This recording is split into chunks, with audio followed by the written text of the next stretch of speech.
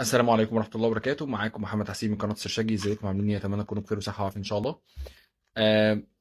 كان عندي مشكلة زمان آه، كنت وأنا نايم آه، بيجيلي آه، ش- يعني شد عضلي جامد جدا بيخليني إن أنا أقوم من النوم بصوت آه بطلع أصوات كده غريبة من من بقي لأن أنا كانت رجليا كانت بتكون وجعاني جدا وشد عضلي جامد. وبعد كده بقيت لما باجي مثلا اتاوب آه، كده ألاقي بعد كده الفك ده وجعني جدا والموضوع بقى صعب قوي وال... يعني والفك بيوجعني وشد العضلي وشد الدراع وهكذا.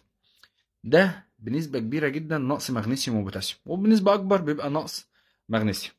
فمن بعد ما أنا بقيت أستخدم مغنيسيوم أنا جايب لك بس إن أنا جاي أقول لك إن أنا جايب مغنيسيوم عادي يعني مغنيسيوم citrate عادي.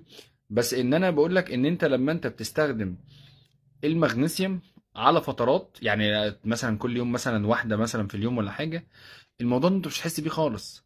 تأثير المغنيسيوم في الجسم. هتحس بيه بعد 3 شهور. أي فيتامينات هتحس بيها بعد 3 شهور.